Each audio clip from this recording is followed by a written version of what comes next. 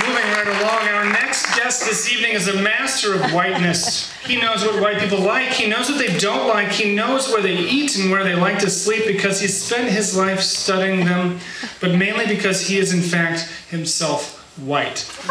Ladies and gentlemen, say hello to blogger and New York Times best-selling author of stuff white people like, Mr. Christian Lander.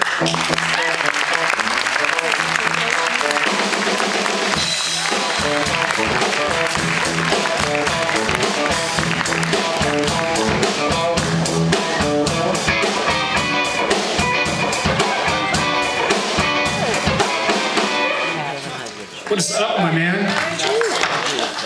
Oh, I, yeah, because I was correct. That's a play that funky music white boy. I didn't recognize it.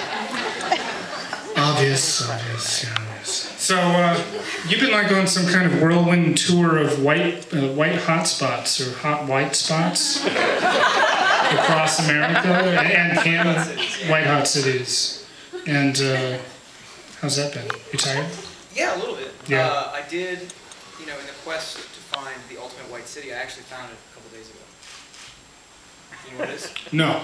If you could guess, what do you think? The whitest city in America. San Marino. No. Temple City. No, no. Okay, I don't know.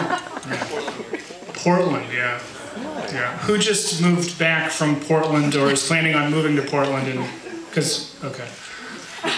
There was a time when everyone was moving to Portland. Yeah. Or planning to move move to Portland, and then there was people who were coming back from Portland. Yeah. So did you live in Portland? No. But you're white. Yeah. Okay. You're an Angeleno, but you're not a native. No, no, I'm not.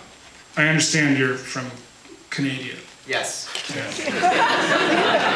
Are white uh, Canadians are, are Canadians whiter than white Americans? Or you know, are white Canadians whiter than white Americans? This is a good question. Yeah. Uh, no. No. Ultimately, the white Americans that I'm writing about are basically Canadians who are a Sarah Sarah Palin election away from becoming Canadian.